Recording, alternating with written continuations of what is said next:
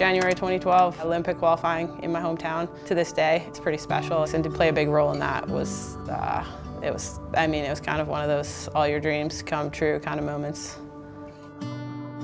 My whole career, I felt like that's what I was gunning for, and to be so close, to feel like you were such a part of the team, to the very last minute, I kind of like feel like that was ripped away. It's definitely the hardest thing I've ever been through, and definitely kind of feels like your heart comes out of your chest.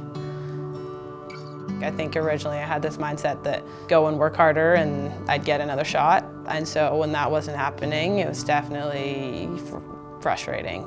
At times I kind of looked outward you know, as to why that wasn't happening. But somewhere in there, I kind of had this turning point where I realized that I couldn't let a situation control my happiness. A bit of an epiphany for me that I just decided that I love to do this and I was doing it because I loved it, not for any other reason. It didn't matter what environment I was in, like nothing was stopping me from being the best that I could be and kind of became about not the opportunities I had, but more about what could I do to have fun and get better. And so that was kind of where I put my focus. I've had a number of big injuries in my career. Coming back from those, I think mentally just as hard as physically. It's crazy to see how much you can lose after a big surgery. But through that process, I really came to appreciate the fact that I love to play football. When I came back from that at the end of 2016, uh, I managed to get a contract in the German Bundesliga to start 2017. I was just so grateful to be playing football again. I was so happy.